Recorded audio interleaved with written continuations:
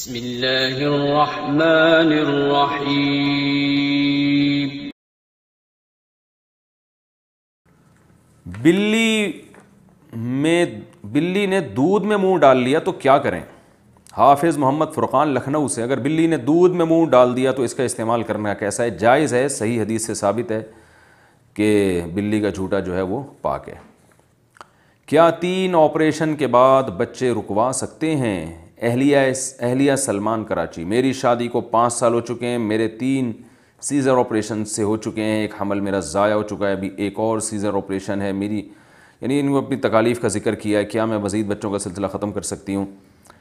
अगर आपको दो तीन डॉक्टर जो माहिर हों, और अल्लाह का खौफ भी हो उनके दिल में, वो मशवरा दें कि अब आपके लिए, यानी बच्चा पैदा करने में वाक़ता आपकी सेहत का नुकसान है। और आपको गैर मामूली ज़र पहुँचेगा। और ये एक डॉक्टर से नहीं, आपने कई डॉक्टरों से पूछ लिया। सब ये कहते हैं तो आप बच्चों का सिलसिला रोक सकती हैं। लेकिन रोकने के लिए जो ख़वातीन आजकल ये करती हैं कि बच्चा दानी निकलवा देती हैं ऑपरेशन करके, और वो, ये तो बिल्कुल तगीर खलकिल्ला है, ये तो बिल्कुल जायज़ नहीं है। यानी रोकने का मतलब ये कि आप ऐसी तदबीर इख्तियार करें जिससे हमल दोबारा ना ठहरे। क्या कारून मुसलमान था? अरशद साहब ने इंडिया से पूछा है कारून पर ज़क़़त ना देने की वजह से आज़ाब आया? जब वो मुसलमान ही नहीं था तो इस पर ज़क़़त कैसे फ़र्ज़ हुई थी?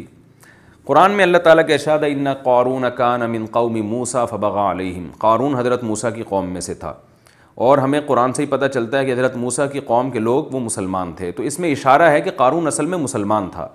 लेकिन जब दौलत के नशे में था, हज़रत मूसा सलाम ने उसको हुक्म दिया कि तुम अल्लाह की आयत, यानी पर जो अमल करो और आहसिन कमा आहसन अल्लाह जैसे अल्लाह ने तुम पर एहसान किया है, तुम अल्लाह की मखलूक पर एहसान करो, ज़क़़त दो, उन पर ख़र्च करो।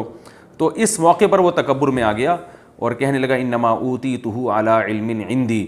ये अल्लाह का फजल थोड़ी है, ये तो मैंने अपनी मेहनत से कमाया है। तो ये जुमला कहने के बाद बहरहाल वो काफिर हो गया। तो क्योंकि किसी शरीयत के हुक्म का मज़ाक उड़ाना और उसमें तकबर करना तो ये बहरहाल कुफर है। और फिर उसने हज़रत मूसा सलाम पर तहमत भी लगवाई, ताकि हज़रत मूसा सलाम जो इसको बार बार नसीहत करते हैं, वो बंद कर दें। तो इसी पर जो है वो उस पर अजाब आया। तो पहले मुसलमान था या नहीं था, बहरहाल मौत उसकी कुफर पर हुई है। और ज़क़़त का हुक्म देना बहरहाल इससे और मूसा सलाम की कौम में से होना, इसमें इस तरफ़ इशारा है कि पहले वो मुसलमान था।